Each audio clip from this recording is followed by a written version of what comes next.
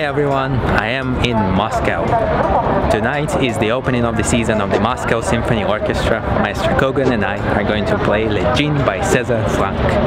We already had our first rehearsal yesterday. Maestro is such a fantastic and sensitive musician that I'm really looking forward to it. It's going to be a great concert tonight. Now I'm going to my dress rehearsal and of course I'm taking you with me. Let's go.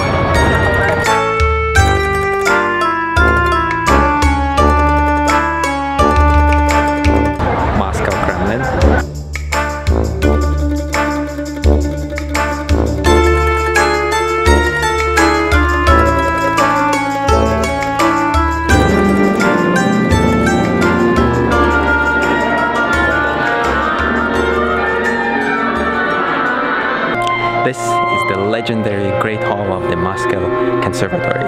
I can tell you being here and playing here makes you feel a great spiritual elation. This is truly a very special venue.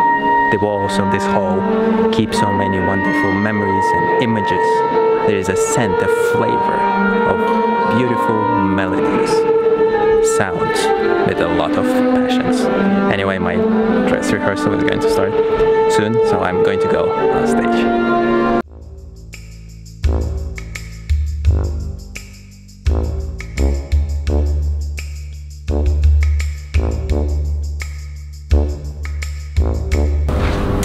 It's half an hour before the concert. I'm in the dressing room. You can only imagine how many great artists spend their time here practicing, thinking about music.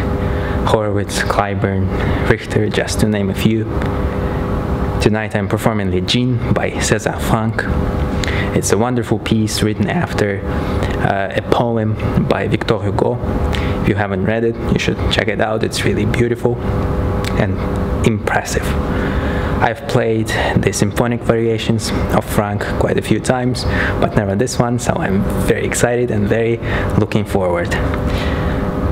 I'm going to go on stage quite soon, so I'll see you in the next episode.